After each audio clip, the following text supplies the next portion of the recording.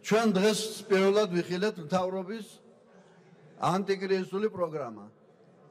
შეიძლება უწოდოთ მისი ერთი ნაკუცი, ნაწილსაც ვერ უწოდებთ.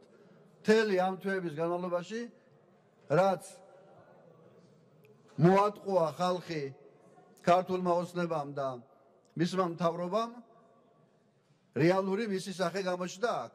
აი ეს არის მთელი ანტიკრიზისული პროგრამის შინაარსი. 150 ლარი შეღავათი იმ დასაქმებულებს, რომლებიც იღებენ 1500 ლარამდე ხელფას. აი ამით დამთავრდა თქვენი ეკონომიკური ფილოსოფია, ვინაიდან დანარჩენი რაც ილაპარაკეთ, არაფერი არ მოსულა პარლამენტში. დანარჩენი ეს ყველაფერი არის ჰაერში გასტოლილი ფუჭი სიტყვები. ვინაიდან მას არ აქვს არც სამართლებრივი საფუძველი, ანუ არ არის კანონი და არ არის სასახული ბიუჯეტში და მას არ აქვს არც ფინანსური ბაზა. სად არის დახმარებები? რატომ არის საქართველოს ერთადერთი ქვეყანა მსოფლიოში, რომელმაც ამ პანდემიის პირობებში არ გაუწია საკუთარ მოქალაქეს ერთი თეთრის დახმარებაც კი დაგვისახელეთ ერთი სახელმწიფო მსოფლიოში, რომელმაც კომპენსაცია არ გაწია. და როდის მიიღებს პირველ დახმარებას შიმშილის ზღვარზე მისული ჩვენი მოქალაქე, რომელიც გამოკეტილი იყო სახში იზოლებით, რომელმაც დაკარგა სამუშაო ადგილი და რომელსაც არ მიუღია ხელისუფლებისაგან არავითარი მხარ დაჭერა. აი მე გეკითხებით მთავრობას და ფინანსთა მინისტრს. როდის მიიღებს პირველ კომპენსაციას? აქ ბიუჯეტი არ არის წარმოდგენილი. შეიძლება რაიმე დახმარება გაწიოს ხელისუფლებამ კანონის გარეშე? ჯერ ბიუჯეტი უნდა შემოვიდეს, მე ეს უნდა განვიხილოთ, მე უნდა დამტკიცდეს, მე მექანიზმებს ხო თქვენ ვერაზოს ვერ შეადგენთ და ვერ ააწყობთ. თავს ვერ მოაბამთ აღრიცხვას. ვერ გაგიგიათ ვინ არის თვით დასაქმებული და ვინ არ არის თვით დასაქმებული. სანტექნიკოსებს, ხელოსნებს, ძიძებს და ასე შემდეგ უამრავ ადამიანებს ვინც ვაჭრობს, ვინც ქუჩაში თვით დასაქმებულია და ეწევა სამუშაოს, ცნობას ხო და იცით ხო ამ ცნობას ვერ მოიტანს. და დატოვეთ და გაწინეთ ასე თქვათ საშიმშილოდ. სოფლის თვით დასაქმებულებზე გააკეთეთ პროგრამა როგორც იქნა, მაგრამ მხოლოდ 200.000 ადამიანს ეხმარებით ფერმერებს, რომლებსაც აქვს 10 ჰექტამდე მიწა. ახაც და აქ უცბაცეთ ფული და აბსოლუტურად ის ძველი პროგრამა გაიხსენეთ თოხებისა და ბარების ასე თქვა შესყიდვის და ხნათეს ის პროგრამის ძველი ჩავარდნილი ვარიანტი 300 მილიონი რომ დაკარგა ბიუჯეტმა იმ სქემას თავაზობთ რომ თურმე ეს 200 ლარი ერთ ჰექტამდე რომელიც სოფელში დარიგდება სპეციალიზებულ მაღაზიებში უნდა იყიდოს თურმე. სად არის კონკურენციის კანონი? და ვისი იქნება ეს სპეციალიზებული მაღაზიები? იქნება იმეთი როგორც იყო წინათ. საკუთარ ასე ვთქვათ კომპანიებსა და დაახლოებულ პირებს გაახსნებინებ მაღაზიებს და იქ დაეხარჯება მთელი ეს გამოყოფილი ფული. რატომ? რატომ ხდება? რომ ყველა დაპირება რომელიც თქვენ ყველა დაპირება რომელიც თქვენ მიეცით ბიზნესს მოქალაქეებს რეალურად არ არის უზრუნველყოფილი ფინანსურად. მე გიპასუხებთ, იმიტომ ხდება, რომ დაიწყეთ ბაკაბუქი, რომ 3 მილიარდიან რაღაცა დიდ ფონდს მოიზიდავთ. გაითხარეთ ორმოთავად.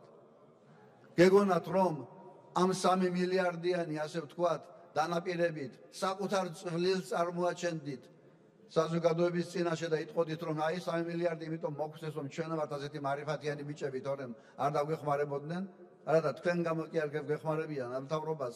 ვინ ეხმარება? იმ ეხმარება საქართველოს ქართულ ხალხს ვინედან ეს ქვეყანა არის ევროპის ნაწილი და ევროპა არ დაუშვებს. რომ ქვეყანაში იყვნენ პოლიტპატიმრები და ქვეყანაში იყოს ავტორიტარული რეჟიმი და ქვეყანას რომელიც არის ევროპის ასე ვთქვათ საიმედო პარტნიორი და მათ შორის სხვადასხვა თუნდაც სამხედრო ოპერაციებში უდგას მთელი დასავლეთი გვერდით. და არა მას მთავრობას. თორემ ის გაფრთხილება სანქციის შესახებ რომელიც ევროკავშირიდან გაიხსნა და თითის დაკნება ერთი კვირის წინ. რომ არავითარი დახმარება არ შემოვიდოდა საქართველოსში, თუ კი პოლიტპატიმრები არ გათავისუფლდებოდნენ, როგორც იქნა ძალიან კარგად გაიგეთ და მეორე დღესვე უკვე გაათავისუფლეთ გიგი უგლავა, ერაკლი ოქროაშვილი და ახლა როასაც გავუშვებთ, როგორაც არ უნდა გინოდეთ და მიიღებთ იმ კანონ პროექტსაც. სწორედ იმიტომაც რომ ამოვეწურა მოთვინების ფიალა ჩვენ საერთაშორისო პარტნიორებს. დაინახეს თუ ვისთან კონდათ საქმე. და ეს სანქციები სამწუხაროდ დააზიანებდა ხალხს და ხალხი მოგადგებოდა თაკ პარლამენტში, კანცელარიაში და სუშუში სასახლეში. აი ამიტომაც არის რომ მოგიწიათ დათმობებზე წასვლა. მაგრამ როდესაც ამ 3 მილიარდს ამბობდით თქვენ, სად არის ეს 3 მილიარდი? მუშაობაც კი არ შეგიძლიათ.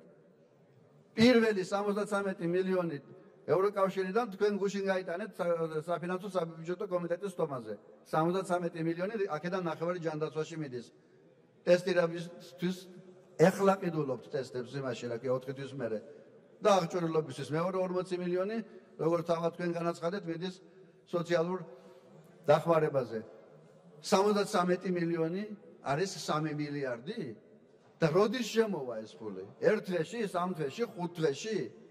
ის დანაპირები, რომელიცაც ბიზნესი ელის, ვითომ მილიარდ ნახევარი რომ წავა კომერციულ ბანკებში და კომერციული ბანკების შემდეგ ამას ბიზნესში განათავსებენ სესხების სახით და ასე თქვა ბიზნესი ამუშავდება. როდის შემოდის ეს სესხები?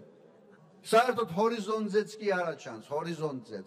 ჩვენ ვიცით რეალური რა დახმარებაც არის ძველი პროგრამა სავალუტო ფონდისა, რომელიც ხორციელდებოდა და ავტომატურად გაგზელდა და გაორმაგდა და ამიტომ მივიღეთ 200 მილიონი სავალუტო ფონდის ფული ისიც ეროვნული ბანკის რეზერვების შესავსებად და მორჩა ამით.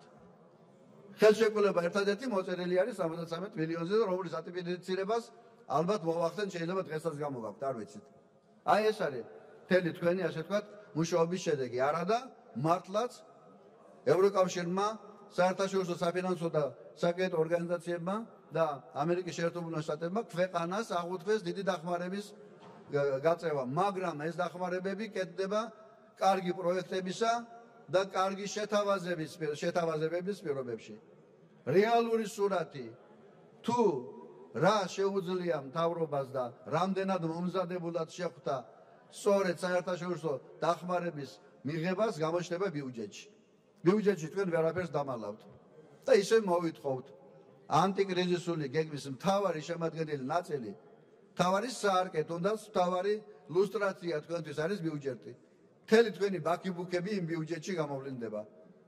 რა შემოსავალი გექნება და სადაპირებ დახარჯვას. და რატომ არაპირებთ იქ გამოჩნდება იმ უამრავი კორუფციული უსარგებლო თუნდაც სასარგებლო, მაგრამ ამ მომენტში დაუშვებელი ხარჯების ჩატოვებას ბიუჯეტში.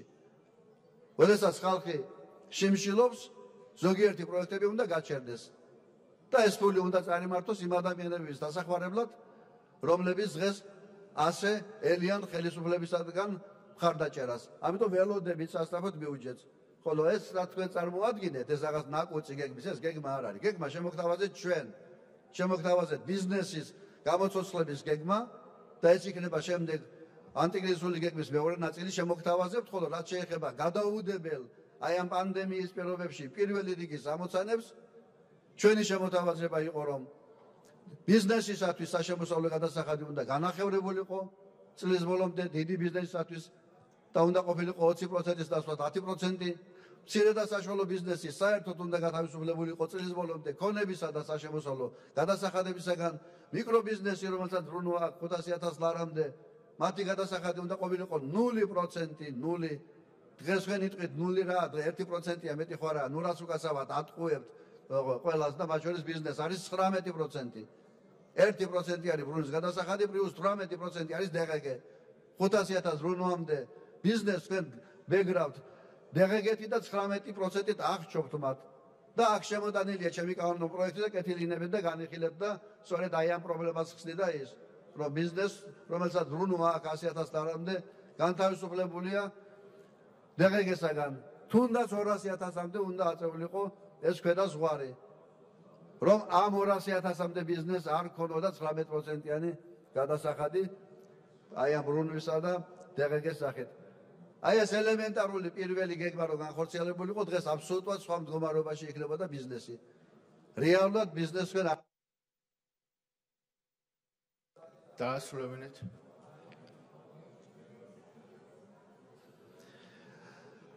ამ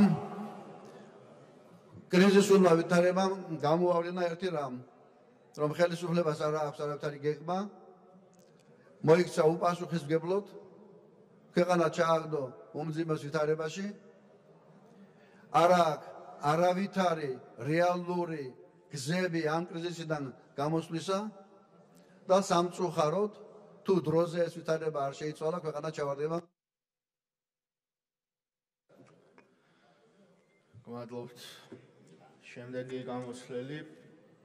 ბატონი ლევან გოგიჩაიშვილი